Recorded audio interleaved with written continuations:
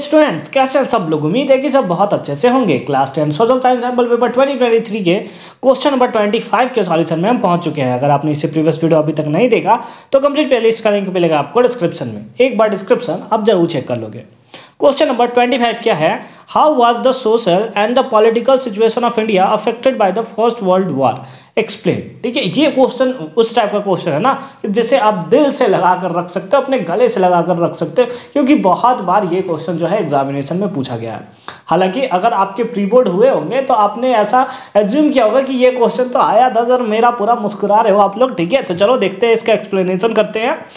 तो अगर first World war के बारे में बात करें तो वो जो था इंडियंस पे एक बहुत ही ज़्यादा इम्पैक्ट करने वाला था। वॉर के कारण एक तो टेंशन क्रिएट हो चुका था। उसके साथ साथ अगर हम लोग शॉर्ट में बात कर ले तो डिफेंस एक्सपेंडिचर जो था, वो इंक्रीज हो गया था, है ना? और उसी टाइम इनकम टैक्स जो था, उसे रिड्यूस मतलब इंट्रोड्यूस कर दिया गया था। प्राइस जो था, वो लगभग 1913 से 1918 के बीच में लगभग डबल हो चुका था। ठीक है, जिसके कारण कॉमन पीपल का ज़िंदगी तो लगभग बदतर हो चुका था, एकदम हार्ड हो चुका था, ठीक है? और उसी टाइम से आपने पढ़ा होगा कि क्रोप्स फेलियर हो चुका था इन्फ्लुएंजा जैसा एपिडेमिक्स आपको देखने को मिले थे, बहुत सारे जिसके कारण मिलियंस ऑफ़ पीपल जो थे वो डेड कर गए। बहुत सारे पॉइंट्स में आप लिख सकते हो, क्योंकि ये तीन मार्क्स कैरी करता है तो कम से कम आपको इसको तीन पॉइंट में लिखना है।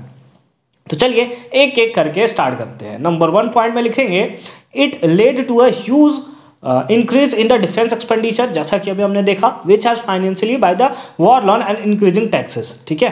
कस्टम ड्यूटी रेज कर दिया गया था उसके साथ साथ इनकम टैक्स को इंट्रोड्यूस कर दिया गया था। ये हो गया हमारा पहला पॉइंट दूसरा पॉइंट में आपको लिखना है कि आ, अगर हम लोग वार के टाइम में देखें तो प्राइस जो था वो लगभग डबल हो चुका था 1913 से लेकर 1918 के बीच में।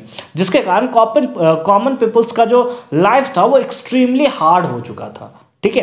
तो ये आप सेकेंड पॉइंट में लिख सकते हो। थर्ड पॉइंट्स पे आपको क्या लिखना है कि जो रूरल एरियाज़ होता है वहाँ पे फोर्सफुली जो थे वहाँ से क्या किया जाता था कि पीपल्स को लाया जाता था, उन्हें सोल्डर सप्लाई कर दिया जाता सोल्जर जो होते हैं, वो सिंपली सप्लाई कर दिया जाता था कहाँ? फॉरेन में, क्योंकि उस टाइम फ़र्स्ट वर्ल्ड वॉर में इंग्लैंड तो पार्टिसिपेटेड में था।